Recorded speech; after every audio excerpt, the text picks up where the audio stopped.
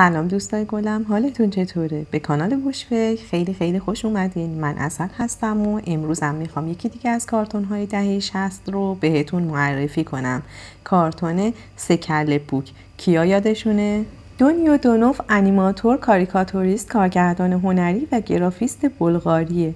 آثار دونوف با خطوط ساده شده و در عین حال انعطاف پذیری حرکت با بیانی واضح مشخص میشه. اون اولین کسی بود که تو فیلم های انیمیشن خودش از گفتار و حروف ناقص به عنوان صدا و تصویر همراه با صدای تبل و باله استفاده کرد. شخصیت های اون هرگز تو افکار خودشون خیلی متمرکز و غمگین نبودن و با شادی کارهای خودشون رو انجام می‌دادن.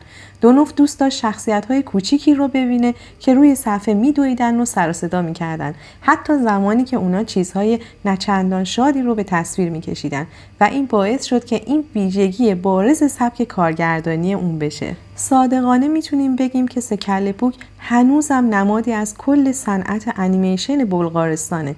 سکل پوک سه شخصیت انیمیشنی کوچیک هستند که در 11 فیلم کوتاه تنز معرفی و سال 1970 به نمایش در اومدن این قسمت ها تقریبا 6 تا 10 دقیقه هستند و هنوز بعد از 50 سال به طور گسترده محبوبن و هر قسمت از اون به تنهایی حداقل یک جایزه بین المللی رو از آن خودش کرده. هدف اصلی این انیمیشن نقد اجتماعیه که از شوخ طبعی برای جلب توجه به موضوعات کوچیک و گسترده در جامعه استفاده می‌کنه.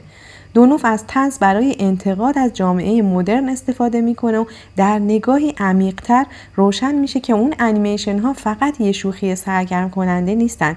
این یه رویکرد طنزآمیز به زندگی روستایی قدیمی بلغارستانه که شیوه و آداب و رسوم روزمره و نحوه برخورد شخصیت ها با موقعیت هایی که در اون قرار دارن رو نشون میده. دوستان ممنون که تا اینجای ویدیو. همراه من بودین. اگر از این ویدیو خوشتون اومد like کنین لطفا. channel منو اگه دوست داشتین subscribe کنین و خوشحال میشم نظراتتون رو توی کامنت ها به هم بگین. تا ویدیوی بعدی خدا نگهدار.